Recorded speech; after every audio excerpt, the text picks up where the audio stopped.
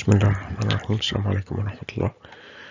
المفروض إن إحنا مع بعض عشان مادة السياسات النادية تأهيل الدكتوراه المفروض المنهج اللي تم شرحه كان كالتالي.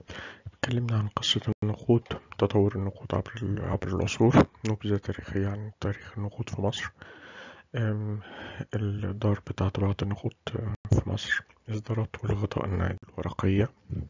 النقود القابل للتحويل والنقود الغير قابل للتحويل نقود الودائع والحديثة والنقود البلاستيكية.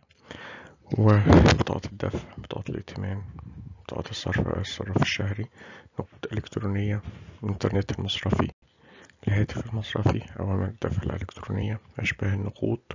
وبعدين ابتدينا نتكلم على النظم النقدية. سواء كان نظام المعدن الواحد أو نظام المسبوقات الذهبية السبائك الذهبية نظام الصرف والذهب نظام المعدنين وآلية التوازن في ظل قاعدة الذهب الفصل الثالث اتكلمنا فيه على عرض النقود وقياسها. المنهج التجريبي في تعريف النقود المنهج الاستنتاجي لتعريف النقود. اتكلمنا عن القاعدة النقدية والتعريف الضيق للنقود الام 1 للمجاميع والتعريف الأوسع للنقود سواء ام 2 أو ام 3 تحليل تدفق الأموال وفق مبدأ صف الأصول المالية.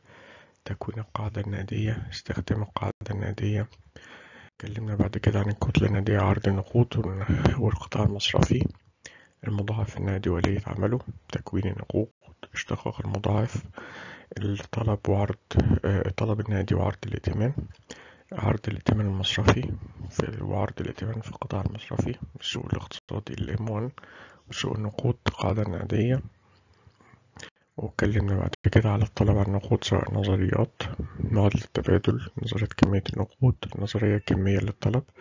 معادلة كامبريدج نظرية تفضيل السيولة لكنز نظرية الكمية الحديثة لفريدمان دالة الطلب نظرية المعادلات المعاملات للطلب على النقود. بعد كده عن السياسات النقدية.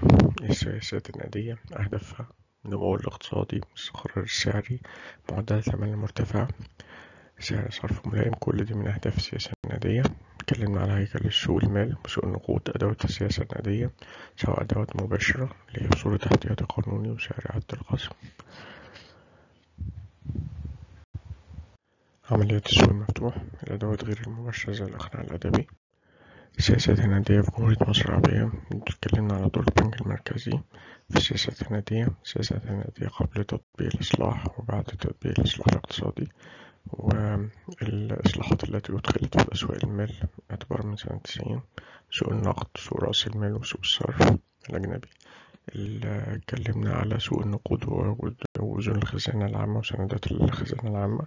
الأدوات اللي طبقت لتحقيق هدف السياسة النقدية سعر الصرف الأجنبي وعلاقته بالسياسة النقدية تقييم السياسة النقدية في ظل أسعار إصلاح اقتصادي مدى فعالية السياسة النقدية وبعدين والأهم بالنسبة لينا اتكلمنا عن السياسات النقدية في النظريات الاقتصادية عامة سواء كان النظرية الكلاسيكية النظرية الكنزية والنقدية والتوقعات الرشيدة.